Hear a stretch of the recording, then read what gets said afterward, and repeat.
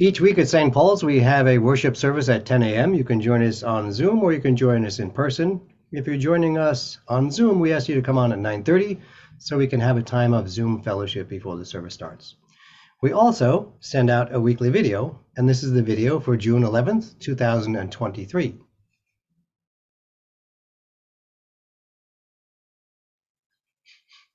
We're starting a new series on the five books of Moses, and this is our second week. We're looking at the second chapter of Genesis.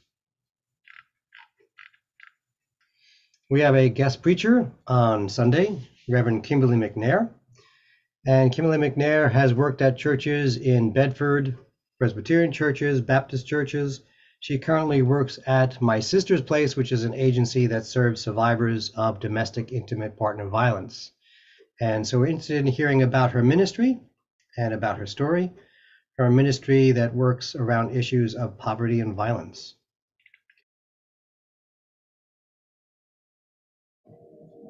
Next week is a Juneteenth celebration in the town of Port Chester. This is something that has been kind of evolving over years. Um, it started as a way of remembering the uh, victims of Emanuel, Mother Emanuel Church, the nine members of the church who were shot during a uh, Bible study. Um, so we started doing kind of a Juneteenth celebration as a way to commemorate them and uh, and other people who had been murdered in uh, violence like that. Um, so, but now it's expanded into being nationally recognized as a federal holiday. So lots of places are doing Juneteenth celebrations, um, and ours continues to be a time um, to reflect on our nation's history and our nation's struggle to make progress. So I hope you can join us for that. And here is the prayer of the day. Let us pray. O God, you are the source of life and the ground of our being. By the power of your Spirit, bring healing to this wounded world and raise us to the new life of your Son, Jesus Christ, our Savior and Lord. Amen. This is our second week looking at the creation stories in Genesis, and here is a creation story from John. Good news according to John, the first chapter, the first verse. In the beginning was the Word, and the Word was with God, and the Word was God. He was in the beginning with God. All things came into being through him, and without him not one thing came into being. What has come into being in him was life, and the life was the light of all people. The light shines in the darkness, and the darkness did not overtake it the gospel of the Lord. Praise to you, O Christ.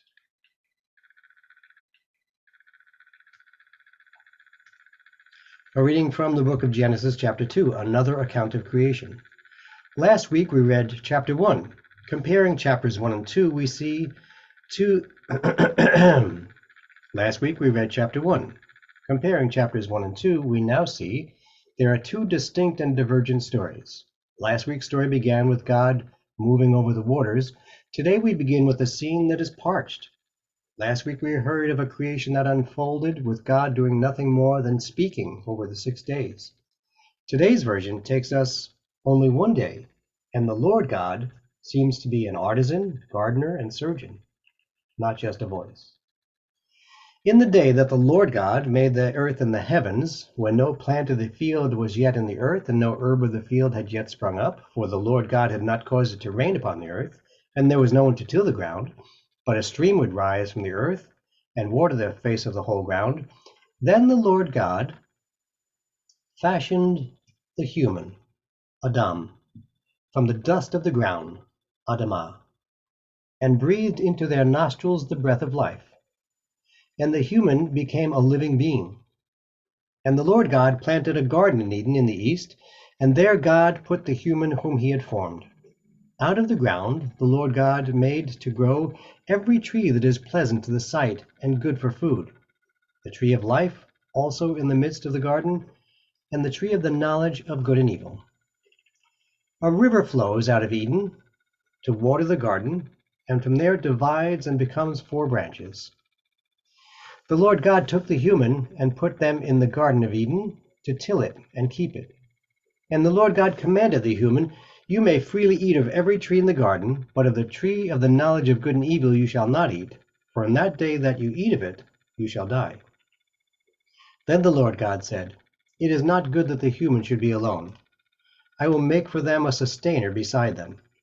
So out of the ground the Lord God formed every animal of the field and every bird of the air, and brought them to the human to see what they would call them. And whatever the human called each living creature, that was its name. The human gave names to all the cattle, to all the birds of the air, and to every animal of the field. But for the human no sustainer beside them was found. So the Lord God caused a deep sleep to fall upon the human, and they slept. Then the Lord God took one of the ribs and closed up in its place with flesh. And the rib that the Lord God had taken from the human he fashioned into a woman, and brought her to the human. Then the human said, This at last is bone of my bones, and flesh of my flesh. This one shall be called woman, Isha, for out of man, Ish, this one was taken. Therefore does a man leave his father and mother and cling to his wife, they become one flesh. And the human and his wife were both naked and were not ashamed. Holy wisdom, holy word, thanks be to God. So, as I mentioned, this chapter 2 reading gives us a sense that there are two side by side stories of creation. In the first one, it takes six days, chapter 1. Chapter 2, creation takes a day. Everything happens in a day. In chapter 1, God's face moves over the surface of the waters. In chapter 2, everything is dry because God had not made it rain yet. And then God brings forth a river, and then God makes people. God, in the second chapter, makes people, and then makes a garden, and then makes animals. In chapter 1, God made the plants, and then the animals, and then people, the exact opposite order. Plants, animals, people in chapter 1, chapter 2, people, plants, animals. So there's a way in which you're you're made to really see that these are two stories that do not line up. These are two stories that do not have the same way of understanding what happened at creation. Not the same amount of time, not the same sequence, and there's all this reference to the Lord God. Whereas in chapter 1 it just said God, in chapter 2 it says the Lord God, the Lord God. So it's a different way of referring to God. You could say it's a different theology. In the first chapter, God speaks, Let there be light, and it was so. In the second chapter, the Lord God planted a garden. He got out there with a shovel and with a hoe and started planting. And he opens up Adam and pulls out a rib like he is a surgeon. The Lord God took one of the ribs and closed up in his place. It's like he's a surgeon, it's like he's an architect designing this new world and he's getting his hands dirty and doing the work. He's forming a person out of the dirt. It's like a potter taking the clay. He's taking the dirt, the dust, and making a person. This God is with his hands in the dirt, as opposed to just this disembodied voice in the first chapter. So, what we're seeing then is precisely what the subtitle says in your Bible. If you open your Bible and it's uh, the New Revised Standard Version, you'll see this subheading most likely Another Account of Creation. What this means is there is not one account of creation. In the first two chapters of the Bible, we're told there is not one account of creation. And what does that mean? There are only two? No. We read in John, in the beginning was the Word, and the Word was with God. That is a third account of creation. And if you look in the book of Job, there's another account of creation. The womb burst forth the oceans in Job. And in the Psalms, you hear another version of creation. So there are like four or five different versions of creation just in our own Bible. You don't have to go to another Bible from another religion. In our Bible are multiple versions of creation. And that's what we're told right in the beginning, the first two chapters. There is not one account of creation. So, for all these people who want to insist that you have to understand creation literally, just as it happens in the Bible, there is not one literal story of creation. there is not one story of creation. There are multiple stories. And if there are multiple in the Bible, why can't we have a scientific description of evolution? If there's not one version of creation, how can you say that anyone's version is not allowed because it doesn't line up with the one that you see, the one that you think you have in the Bible? The other thing that's interesting about this is the idea of a man. So we hear this word in many Bible translations. It says the man did this and the man did that. So the word there is not the word for man. So if you look, I'm sorry, I'm scrolling so much. But if you look here in chapter 2, you get all the way to the 23rd verse when we hear man. This is the first time the word man appears, right here. For out of man, ish is the Hebrew, this one was taken. Before that is a different word. And in your Bible, it may say man, man, man, man, man, man, man, man. But if the, you're looking at the Hebrew, what it says is Adam. And it doesn't just say Adam, it says the Adam. I mean, I'm giving you the, the you know, the definitive article from English, but it would be in Hebrew. But in English, it's the human. And what does this word human mean? We're kind of translating, but it looks like what this word means is something like humus, soil, dirt. That it's a variation of that word, because the word for soil or dirt is Adamah. And it seems like the Bible very often has these puns where something that sounds the same is used to connect something to something else. So God took the dirt, the soil, the Adamah, and made Adam. So one way of translating that, as opposed to a gender specific term, is human.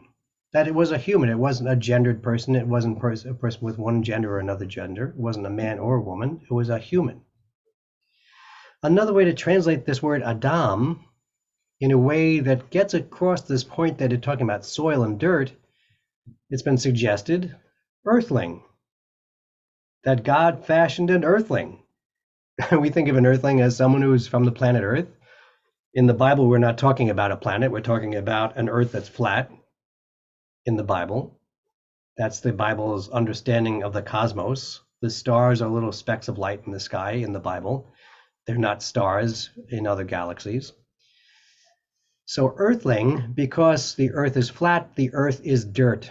We use that word earth, right, to talk about a round planet, a globe, but we also use the word dirt, they use the word earth, as they do here in the Bible, to talk about the dirt, the soil, the earth. So that you might say God fashioned an earthling from the earth. To kind of get across this idea of Hebrew, which is that Adam came from Adamah. That, that's kind of what we're talking about here. And then when we get to chapter 20, when we get to verse 23, then this one shall be called woman, for out of man this one was taken. So it's going to be a long time before Adam is the Adam of Adam. Uh, actually, I said that the wrong way.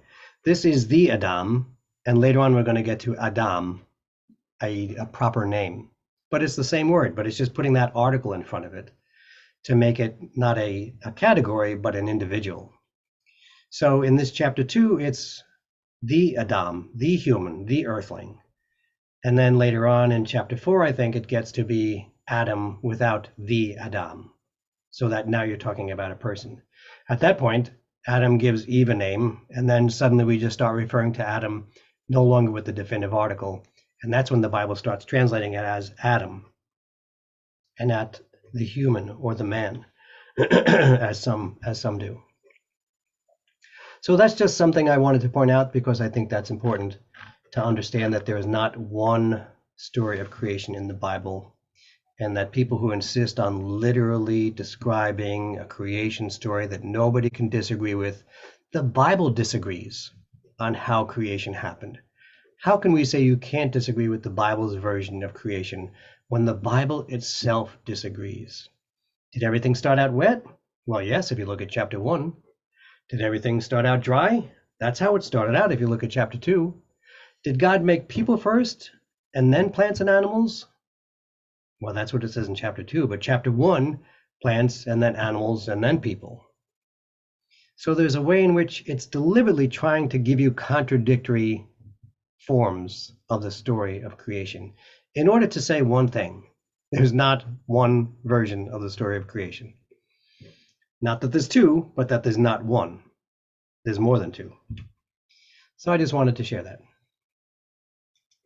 And I think that's important to start out the Bible and say, we're not reading literal stories that people are going to pass laws and saying you can't disagree with this story of creation because it's in the Bible. The Bible itself is telling us multiple stories from different points of view, different ways of referring to God. Is God God, as in chapter 1? Chapter 2 keeps saying the Lord God, consistently saying the Lord God. Chapter 1 keeps saying consistently the just God. Chapter 1 is consistently God said, God said, God said. We don't have any picture of God, just God speaking words. Chapter 2, God is taking the dirt and forming the dirt and breathing into the dirt. You're picturing God's hands and God's mouth and God's lungs making this person. God is planting a garden like a farmer. God is pulling out a rib and then covering up the flesh like a surgeon. That God has arms and legs and lips and lungs, is a kind of a very human image of God in chapter 2. Different kinds of ways of describing God, different names for God. So I think that's an important way to start the Bible, realizing that it can't be literal. It can't be you insisting on one version. The Bible itself is saying there's multiple versions, and there are different ways of getting across the truth. And that these stories are just ways of getting across truth, that the truth is beneath these stories, not the in the facts of the stories, but the truth comes through your reading of the story and asking questions of it. So that's a that's a brief message for this Sunday. Um, tune in on Sunday to hear a sermon from Reverend Kim McNair. Now I'm going to show you a video of last week's service, and I'm sorry that the audio is not so good because we had two readers reading the first chapter, and I didn't have two microphones. I didn't think about that. Um, so it's a little hard to read, but it's all printed on the screen, so you can you can kind of follow the Genesis one reading from last week there. So I hope you enjoy that music and the prayers and the message from last week.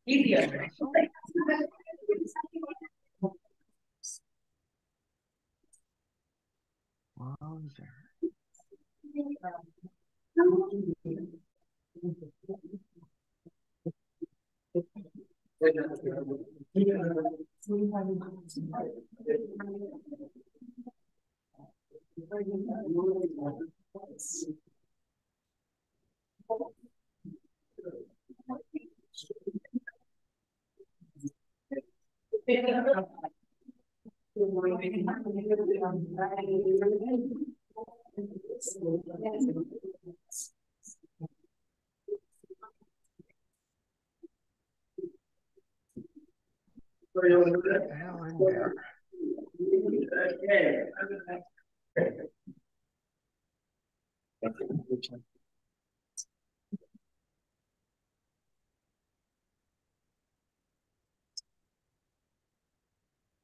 oh,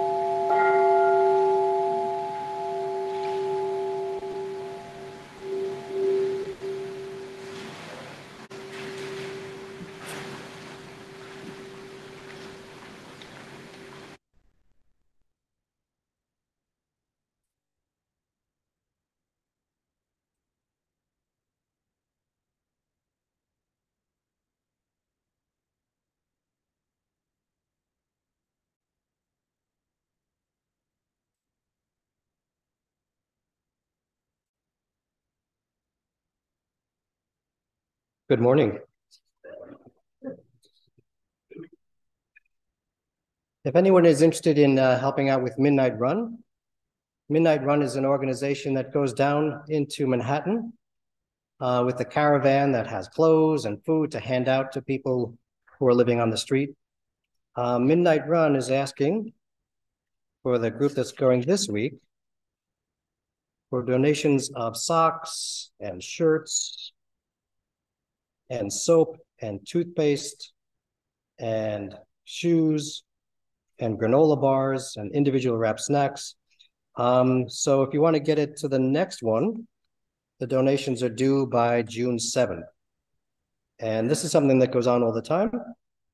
But uh, Port Chester High School and the Carver Center are doing one this week. And if we uh, get the items to them, they will be taking them down. Uh, our deacon is not with us. He's with his wife at uh, St. Barnabas today. And we're glad uh, to share them um, as they're helping other churches. And everybody saw the beautiful roses outside. And we thank Max for those beautiful roses. And maybe you saw the pansies and the other flowers. Uh, we thank uh, Dave Palastro for those beautiful um, additions to our garden. We have our tag sale and car wash coming right up. And it's going to be on Sunday, June 11th, noon to 12.30. I think the tag sale goes to 3.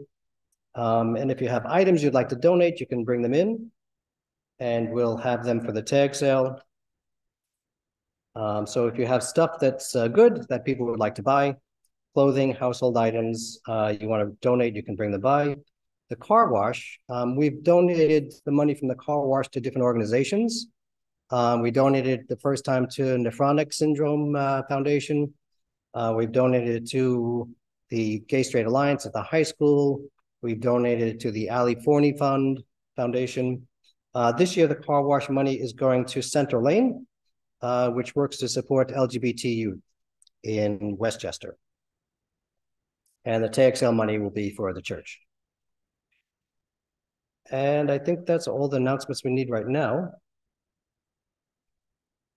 Yeah. I want to say hello to Julia and to Norma and to Linda and to Chip and to Lori J and Barbara J and to Curtis and Courtney and Calvin and Cora, who will be here next week for Cora's baptism. We're going to begin with our confession and forgiveness found on page three. If you are able to stand with me, I invite you to stand.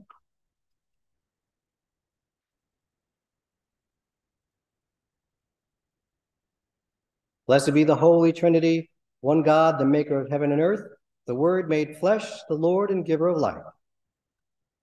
Almighty God, to whom all hearts are open, all desires known, and from whom no secrets are hid, cleanse the thoughts of our hearts by the inspiration of your Holy Spirit, that we may perfectly love you and worthily magnify your holy name through Jesus Christ our Lord. If we say we have no sin, we deceive ourselves, and the truth is not in us. But if we confess our sins, God, who is faithful and just, will forgive our sins and cleanse us from all unrighteousness.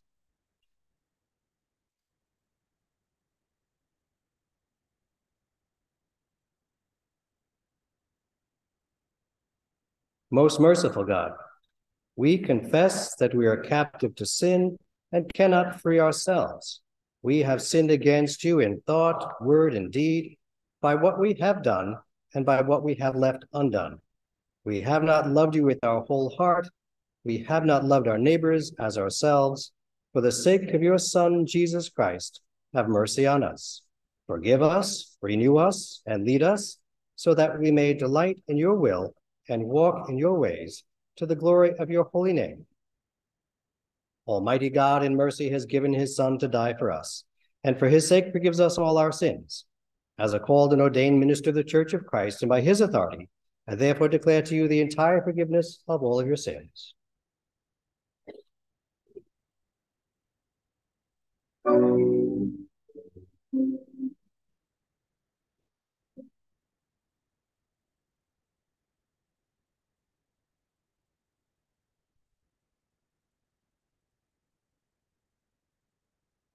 Mm-hmm.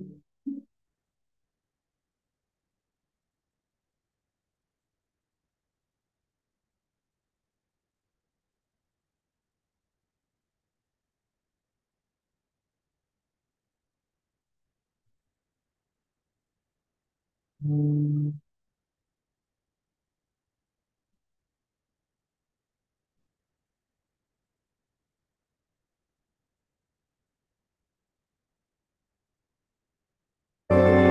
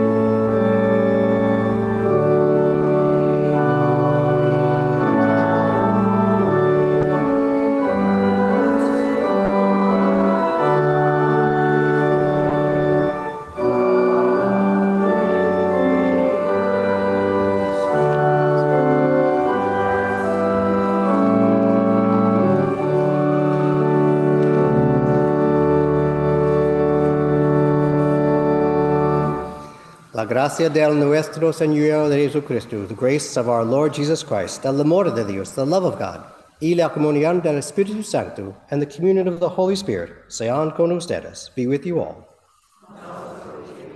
Let us pray. Holy Trinity, you are a community unified as one, in love as one God, our holy three in one. You are the triune God, author of creation, eternal word of salvation, life giving spirit of wisdom. Keep us steadfast in faith, that we may know your endless joy and love. Amen. Please be seated.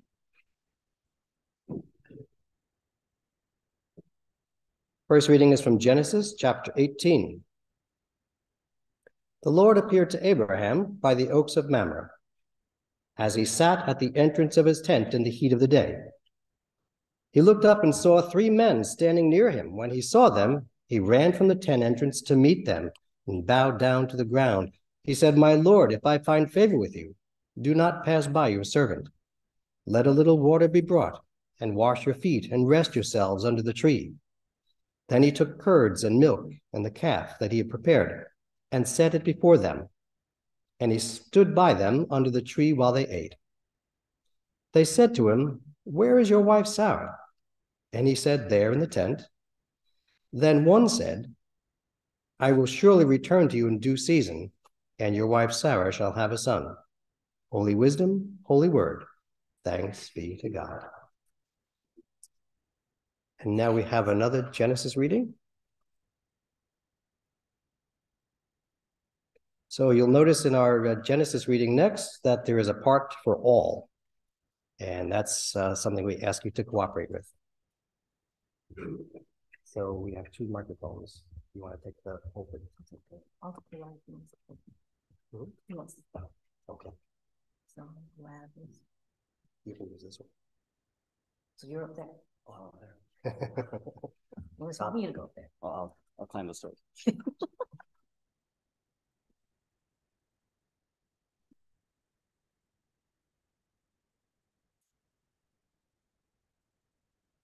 A reading from the book of Genesis, chapter one, verse one, chapter two, verse four. God created women and men to preserve and protect creation. God also rested on the seventh day, the Sabbath, making it a holy day of rest. In the beginning, when God created the heavens and the earth, the earth was a formless void, and darkness covered the face of the deep, while the wind from God swept over the face of the waters. Then God said, Let there be light. and there was light. Thank you. That's good. And God separated the light from the darkness. God, God called the light day, and the darkness he night.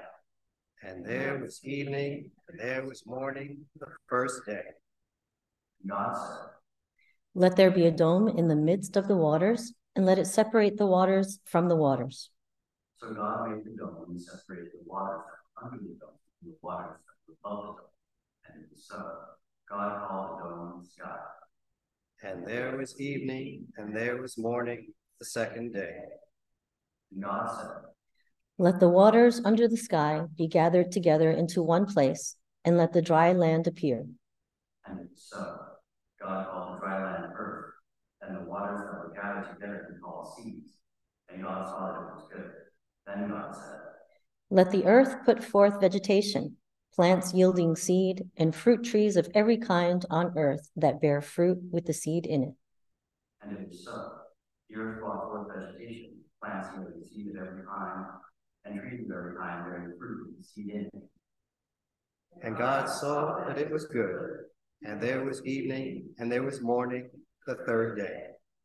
And God said, Let there be lights in the dome of the sky to separate the day from the night. And let them be for signs and for seasons and for days and years. And let them be lights in the dome of the sky to give light upon the earth. and it was so. God made the two great lights, the greater light to rule the day, and the lesser light to rule the night, and the stars. God set them in the dome of the sky to give light upon the earth, to rule over the day and over the night, and to separate the light from the darkness. And God saw that it was good. And there was evening, and there was morning, the fourth day. And God said, Let the waters bring forth swarms of living creatures, and let birds fly above the earth across the dome of the sky. So God created the great sea monsters and every living creature that moves of every kind, with which the waters form, and every winged bird of every kind. And God saw that it was good. God blessed them, saying, Be fruitful and multiply, and fill the waters in the seas, and let birds multiply on the earth. And there was evening, and there was morning, the fifth day. And God said, Let the earth bring forth living creatures of every kind, cattle and creeping things, and wild animals of the earth of every kind. And it was so. God made the wild animals of the earth of every kind, and cattle of every kind, and everything that creeps upon the ground. And God saw that it was good. Then God said, Let us make humankind in our image, according to our likeness, and let them have dominion over the fish of the sea, and over the birds of the air, and over the cattle, and over all the wild animals of the earth, and over every creeping thing that creeps upon the earth. So God created humankind in his image. In the image of God, created them. Male and female, created them. And it was so. God saw everything that he had made, and indeed it was very good. And there was evening, and there was morning, the sixth day. Thus the heaven and the earth were finished, and all, and all in them. And on the seventh day, God finished the work that he had done, and he rested on the seventh day from all the work that he had done. So God blessed the seventh day and hallowed it, because on it God rested from all the work that he had done in creation. These are the generations of the heavens and the earth when they were created. Holy wisdom, holy wisdom. Thanks be to God.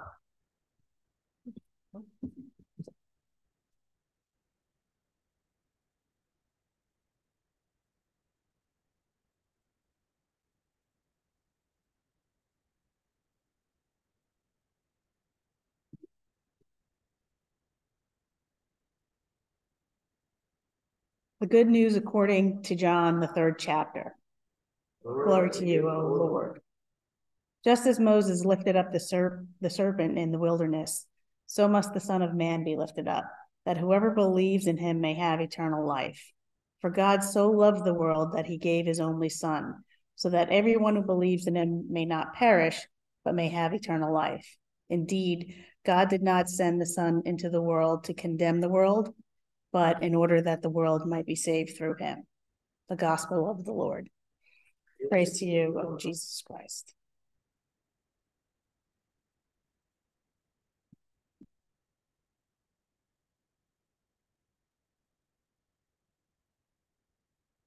So on Memorial Day, for the past 13 years, you know, I've been here 13 years. Doesn't seem like it's been 13 years until I look at my kids and I'm like, oh, it's been a long time. So every year on Memorial Day, I join in a little group that goes to the war memorials in Port Chester and Rye Brook. There's about nine of them. We start down at the marina where they throw flowers onto the water and remember those sailors who died in service to their country. So I've been doing that for about 13 years. And I haven't always been invited, but I've always shown up because it's always public and it's always publicized. And I haven't always been asked to participate, but I've always been there gladly, joining along, traveling from the Civil War Memorial to the Spanish American War Memorial to the Korean Memorial to the Vietnam Memorial to all of the various memorials that we have. And thinking that that's a very important thing to do on Memorial Day, uh, to remember these people who died and the families that they've left behind. I think it's kind of a pastor's appreciation for the proper honoring of death and a pastor's way of supporting people in their grief it also, though, raises issues of church and state because it happens to be organized by the village. And it used to be kind of organized by a former mayor, but more recently it's been the current mayor who kind of organizes it. But it's a nice combination of veterans and elected officials. And I've always thought that it's important for someone from the local clergy to participate. And when I have been asked to participate, I've always also referred them to the rabbi and to any other ministers that are available so that there's a good multiplicity of different faiths who participate. So in recent times, when they've asked me to join a prayer, they have someone who hands out flags to people, so everyone gets a flag. And I've declined holding that flag for two reasons. One is that I have to hold the microphone and then I'm holding a prayer book. And then when they tell everybody to take off their hats, I have to take my hat off. So I've got my hat and my prayer book and the microphone. And so it's a little awkward. I know I don't want to put down the flag. I don't have any place to put my hat down. But for another reason as well, that I don't want to merge national identity and my particular faith identity. And I think there's ways in which we can have them coexist and complement each other, but there's also ways in which they can be kind of merged together in a way that's not healthy. It's important to remember at a time like that that not all Christians are American, and that we should understand that idea that God sees the world as creation. And more importantly, that not all Americans are Christian so that to kind of merge your Christianity together with your patriotism, with your partisanship, is an unhealthy thing that ends up excluding people or making one group a first class group and other groups second class. So it's not always understood. And when this year, when they came to me with the flag, I said, Well, I'm not going to hold the flag while I'm praying. And she kind of was like, What? What's wrong with holding a flag while you're praying? because some people get very kind of, you know, righteous about their patriotism. So I explained to her that I don't want to present an image that mixes different symbols from faith and from patriotism. And we see today people who do that. They merge their particular kind of Christianity with their particular kind of Americanism. in a way that is kind of, I think, one of those times when you see an inappropriate mixing. We've seen people who mix their religion and their fanaticism. They hijack a religion and they use it in the cause of terrorism or partisanship or political advancement or making money. Today is Trinity Sunday. It's a Sunday when we think about how confounding God is. And it's an important reminder when we try to think of God as being God is exactly who I know God is and agrees with all of my beliefs, and God is on my side. Trinity Sunday is a day that says God is so beyond our understanding. God is so beyond our agendas, our partisanship, whatever our particular values are. It's important that we remember that. And Trinity Sunday is that day that says that God is three and God is one. God is the God of the Old Testament and the God of our Christian faith. There's so much to God that we don't understand. I love Abraham Lincoln's use of Christian and biblical symbols and understandings. Abraham Lincoln didn't have a particular denomination, he didn't have a church upbringing but he was someone who was self-taught and part of his self-education was learning about the bible so that when he said things like four score and seven years he was using a biblical way of referring to time. His speeches were always filled with biblical or, or faith references. And during the civil war he said both sides are praying to the same god and God is not going to answer the prayers of both sides because this side is praying, let us win and defeat our enemies. And this side is saying, let us win and defeat our enemies. So he had this important understanding of the complexity of faith and the limits of faith and the proper role of faith, that we don't remove faith from public life, but we're very thoughtful about how we share it. So, Trinity is a time to remember God is beyond our understanding, outside of our agenda.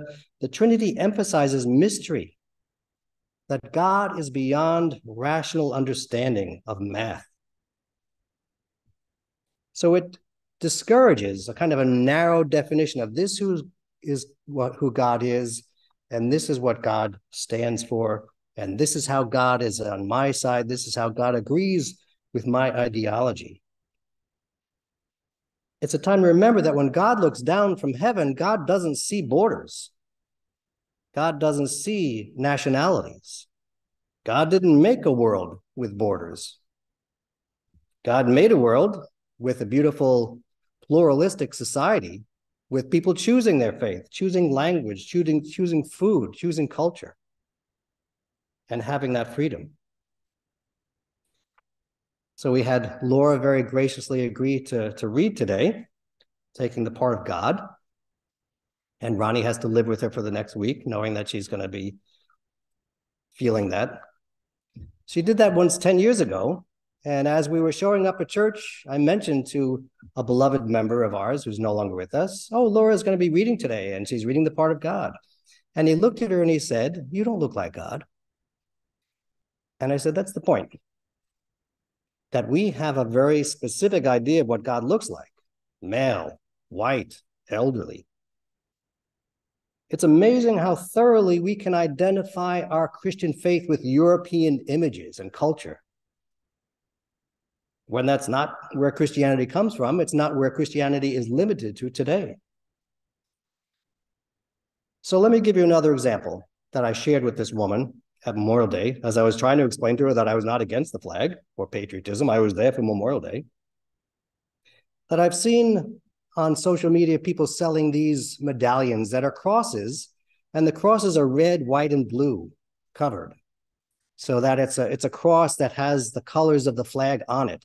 So that's a way in which very symbolically people have merged their national identity and their faith.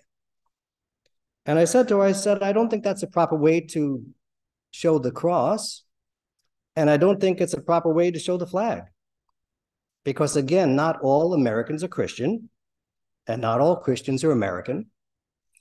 And more importantly, because there are people who are merging their kind of Christianity as an exclusive, intolerant kind of Christianity, and their understanding of America, which is very often racist and sexist and exclusive into something that is called Christian nationalism. And that's when we realize just where people can go when they merge an ethnic identity, a national identity, a partisanship with a faith. Christian nationalism, as we're seeing it more and more, is a kind of rebranded white nationalism. And we realize that there's some people that that's their agenda. And again, I remember Abraham Lincoln, who talked about a new birth of freedom for a country that didn't include everyone and was going to work towards including more and more people.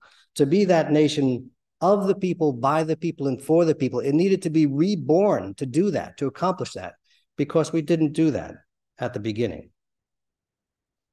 So, kind of what I'm talking about is this idea that there is a wall of separation between church and state, which that term is not a precise term. And maybe sometimes it's not helpful. What we have as Americans is a constitutional guarantee that the government will not establish a religion, that our government will neither promote a religion or hinder a religion or religions or faith in general. So I don't think a wall is a, is a helpful image to kind of separating, but to say that each of those has their proper place. So that I think it's appropriate for me to go to Memorial Day and to be honoring our country and to honoring those people who died in service of their country. And I always make sure that the rabbi is invited or any other ministers are invited. I think that's important. Their fire department has me as a chaplain and they have the rabbi as a chaplain. The police department in Port Chester has a Buddhist chaplain. And I think those things are important. To include faith and not in any way that privileges any faith, but that welcomes all faiths. So not everybody gets that. And we hear this term Christian nationalism. If you listen to what they're talking about, you'll hear people say things like one former national security advisor, we are one nation, we have to have one religion. We are one nation under God, that means one religion. That's what they're talking about. They're talking about excluding other faiths. And they're not just talking about excluding non Christians, they're talking about narrowly defining Christianity to what they understand Christianity to be about. There's a state down south that's talking about replacing the school guidance counselors with school chaplains, replacing, taking out the guidance counselors and putting in school chaplains. That's not the way Americans understand the relationship between church and state. We don't believe in having organized prayer in school. That doesn't mean that we're taking God out of school. That doesn't mean that people can't pray in school. I'm sure everyone is praying all the time in schools. It means that they don't organize a prayer. I sent my kids to public school. I thought that was a great experience for them. I didn't have that experience growing up. I went to parochial school, elementary school, high school, college. I wasn't prepared for the plurality of society that I was going to meet when I graduated. I had to start learning about different people and different faiths and, and what the appropriate way was to talk to people and to understand something about them. I wanted my kids to have that pluralistic understanding of the society that they have to live in. And for that reason, I didn't want their teachers teaching them how to pray. I didn't want their public school teachers telling them what to believe. I didn't want their public school teachers telling them what to understand about what part of the Bible that they wanted to emphasize. Because their teachers were Quakers and Mormons and atheists, and that was the plurality that I wanted them to have. I didn't want somebody else teaching another kind of Christianity to them. And that's what we mean when we don't want to have organized prayer in public schools. We don't want to have schools promoting faith. I was invited to go to my kids' school to talk about Christianity on a panel that had a rabbi and an imam, and we talked about our different faiths, and I thought that was appropriate. So I don't think it's helpful to talk about a wall that separates, but to talk about the appropriate role for each. Last week, we talked about Pentecost, about maybe this idea that the Holy Spirit is invisible, that the Holy Spirit is not the face of Jesus, that the Holy Spirit is not Michelangelo's God the Father, but actually, we do see the Holy Spirit when we see at church all of us gathered here together. when we see how God works in bringing people together to pray and sending people to be of service to others. That is a visible sign of God. So God is both this transcendent God, and God is also right here with us. Our faith is not about coercion. As Christians, we don't believe in coercion, and yet there have been plenty of Christians who have tried to coerce people. But that's not who we are supposed to be. And we need to be reminded of that because we've made that mistake in the past. Our faith is not about absolutism, it's not about excluding other people. Our faith is about inclusion. We have in America the freedom of our faith, a freedom to believe or not to believe as we choose. And Christians also respect that idea of freedom, especially Lutherans, this idea of grace that we live in a freedom that God has given us. That is a beautiful, blessed combination to live in a country that respects our faith to believe as we choose, and to have a religion that says God is setting you free from sin and death. They complement each other so well, like not a lot of other countries do in this world. And yet, so many people want to merge those into a narrow understanding of my faith and my partisanship and my idea of a narrow patriotism, which is often exclusive of race and religion and sexual orientation. They can be a great complement. Our faith is not about coercion. We believe in a God who is love. How do we learn about this Trinity, this concept of the Trinity? We're going to recite the Nicene Creed. It's so complicated, these words, and they're so specific sometimes about a God who is so beyond our understanding. We learn about God when we see people in their freedom, in their freedom to create music and art, to express what's in their soul. We learn about God from creativity, from art, from love, and from suffering. When people struggle and they find a way to see how God is with them. That is what the Trinity is about. It's about not a narrow, simplistic understanding of our faith that's self serving, but a humble appreciation for what God has given us and the beautiful creation, the diversity of creation, the society that we live in, that we're so blessed to live in.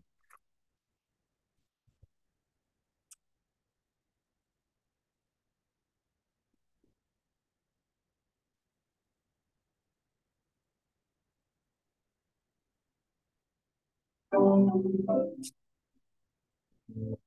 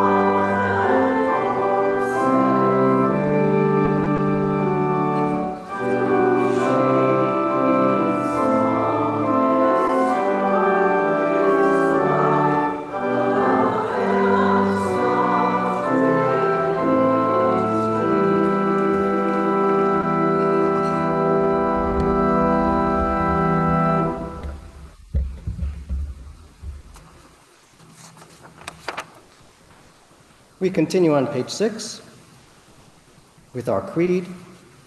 Let us profess our faith with this ancient creed. We believe in one God, the Father, the Almighty, maker of heaven and earth, of all that is seen and unseen. We believe in one Lord, Jesus Christ, the only Son of God, eternally begotten of the Father, God from God, light from light, true God from true God, begotten, not made, of one being with the Father. Through him all things are made. For us and for our salvation, he came down from heaven, was incarnate of the Holy Spirit and the Virgin Mary, and became truly human. For our sake, he was crucified unto Pontius Pilate. He suffered death and was buried. On the third day, he rose again, in accordance with the scriptures. He ascended into heaven and is seated at the right hand of the Father. He will come again in glory to judge the living and the dead, and his kingdom will have no end. We believe in the Holy Spirit, the Lord, the giver of life, who proceeds from the Father, who with the Father and the Son is worshiped and glorified, who has spoken through the prophets. We believe in one holy Catholic and Apostolic Church one baptism for the forgiveness of sins, we look for the resurrection of the dead and the life of the world to come. Amen. Rooted in Christ and inspired by the Holy Spirit, we offer our prayers for the church, the world, and all of creation. Holy Trinity, hold this world in your tender embrace, especially those impacted by the opioid epidemic we remember those afflicted and especially those who have lost loved ones to the COVID virus. May we be thankful, loving God, for healthcare workers and first responders. Each of us has a way to serve you by loving and helping our neighbor. Remind us of our mission to be your hands for people in need. Holy Trinity, gracious God, send your spirit to lead us. Loving Savior, hear our prayers for places of flooding and wildfires, train wrecks, Help us to reach out in assistance. We pray for people in war torn countries, victims of terrorism, both foreign and domestic. We pray for and reach out to refugees in compassion. Holy Lord Jesus, the stranger among us, we pray for the misunderstood and marginalized. Holy Trinity, gracious God. Bless our Child Care Center staff, advisory committee, and families we thank you for this inspiring mission to and with our community. May we each discover how the talents that you have graced us with can be used to your glory. Holy Trinity, gracious God, send your spirit to lead us. Merciful God, hear us as we join our prayers together to lift up Angie, Mara, Bill, Paul, Max, Julia, Dan, Dennis, Earl, Erica, Marcia, and Rick, Phil, Jamie, Muriel, Kay, Idalia, Julissa, Pat, Bob and Suzanne, Johnny, Arlene, Michael, John, Tessa, Linda, Sandy, Dan, Ernesto, Deborah, William, Connie, Michael,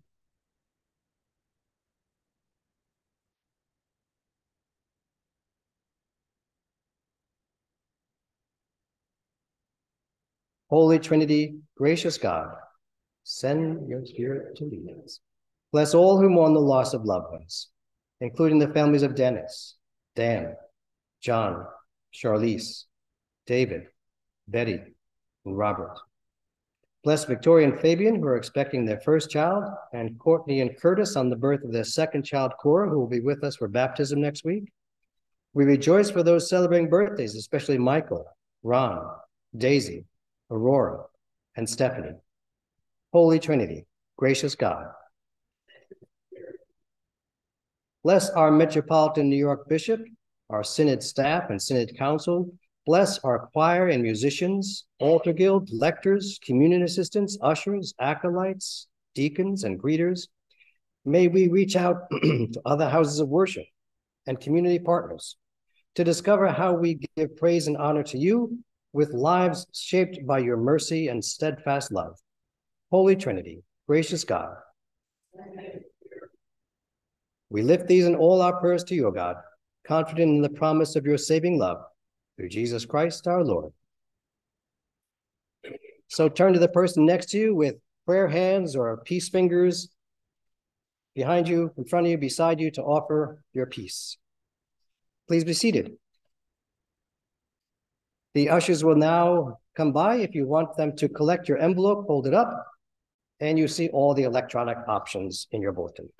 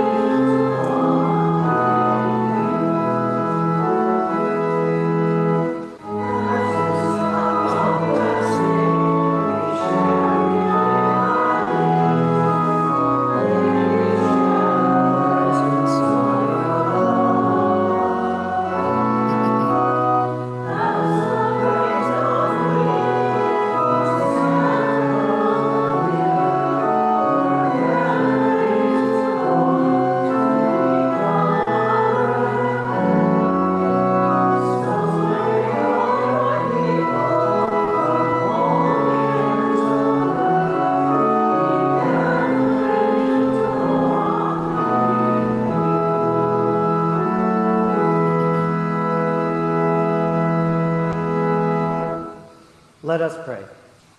Holy God, we offer the gifts of our hearts and lives to the service of all your people. Prepare the way before us as we meet you in this simple meal through Jesus Christ, our pathway and our peace. The Lord be with you. Lift up your hearts. Let us give thanks to the Lord our God. It is right to God it is indeed right and salutary and a joyful thing that we always and everywhere offer thanks and praise to you, God, through Jesus Christ. Christ is the one who was handed over to a death he freely accepted in order to destroy death. He took bread and gave thanks. He broke the bread and he gave it to his disciples, saying, Take and eat. This is my body, which will be given for you.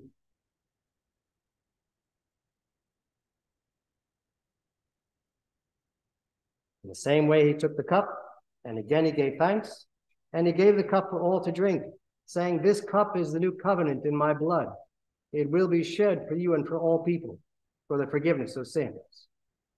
Do this in remembrance of me.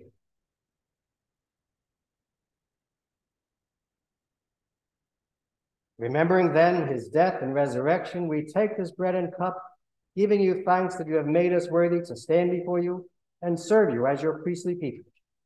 We remember our Lord's victory over death, and we give thanks for all the saints of blessed memory now celebrating this meal in the heavenly presence of their Creator, Sanctifier, and Redeemer. Send your Spirit upon these gifts of your church. Gather into one all who share this bread and wine. Fill us with your Holy Spirit to establish our faith in truth, that we may praise and glorify you through your Son, Jesus Christ, through whom all honor and glory are yours, Almighty Father, with the Holy Spirit, in your holy church, both now and forever. Amen.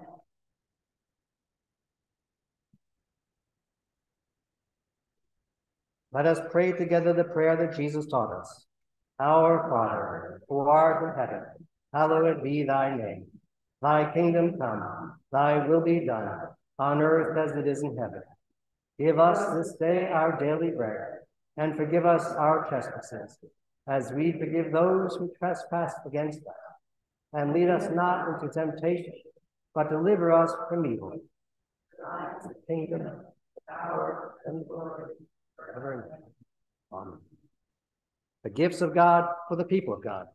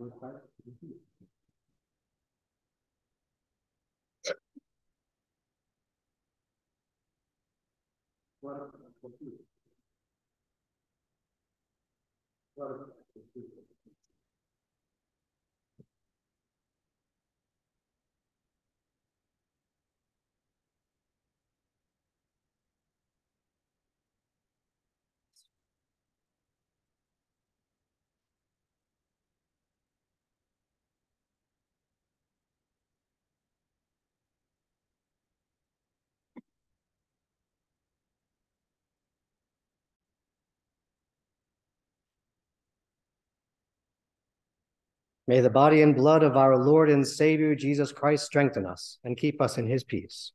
Amen. I want to thank everyone who helped this morning. Our lectors, our ushers, Russell, our Zoom usher. Um, Cam, that was Cam's first time reading in church. Is that the first time you read in any church or just this church? And first time reading in church, any And how many people on their first time reading in church get up into the pulpit? So I think he and Laura did rock, paper, scissors, and Cam lost. Uh, so again, the car wash and tag sale you see in your bulletin. Uh, next Sunday, we have Cora, who's watching now, and she's muted, so maybe she's singing out loudly. Um, so Cora's going to be with us next week for her baptism. We're going to be so excited to have her family with us. Next week, we have a guest preacher, Reverend Kim McNair. Uh, she has never preached here before. It's her first time. She's been a preacher for many years. She's preached in Presbyterian churches and Baptist churches. Uh, her main job is working with women who uh, are recovering from domestic violence. She works with an organization called My Sister's Place. And she works uh, in her ministry, working to help people to understand how we can work to alleviate poverty and to respond to violence. So she'll be our guest preacher next week. We look forward to that. And the following Sunday, we have our annual Emanuel 9 commemoration, uh, remembering the nine who were killed at Emanuel AME Church in Charleston in 2015. Uh, that's been added to our list of church commemorations uh, that we remember each year. If you would like to help with serving uh, lunch at the Carver Center, uh, we take our turn in the rotation. And the next time that we're serving lunch at the Carver Center or dinner, uh, dinner at noon, is on June 17th. And you can let Lorna know if you'd like to help by donating food or by volunteering to help serve food. Um, it's one of those great things that we do where people are working together and we have our oldest members and our youngest members and people who are connected to the congregation in various ways, helping out. And so I hope you uh, can enjoy that. Um, in case anyone is looking uh, up here and wondering where the paraments are, somebody's going to go to the Altar Guild and say, where are the paraments? So I suggested the, to the Altar Guild um, that for the summer, we just have a simpler setup. Um, you know, two weeks ago, we had white here, and then last week we had red. Uh, next week, it would be green. Um, that for the summer, we could have just a simpler uh, uh, altar space. We have our beautiful new altar uh, dedicated to the memory of Lillian Johnson, which has the beautiful carving on the front. And there's something nice about simplicity.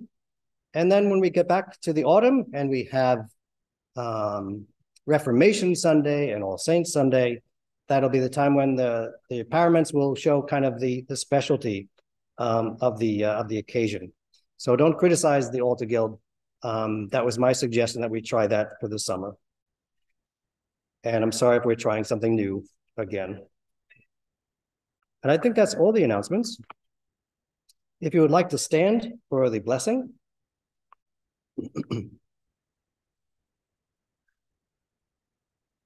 this is the ancient blessing from Moses' brother Aaron that I offered at the Memorial Day service. May the Lord bless you and keep you. May the Lord's face shine upon you and be gracious to you. May the Lord look upon you in mercy and grant you peace. Amen.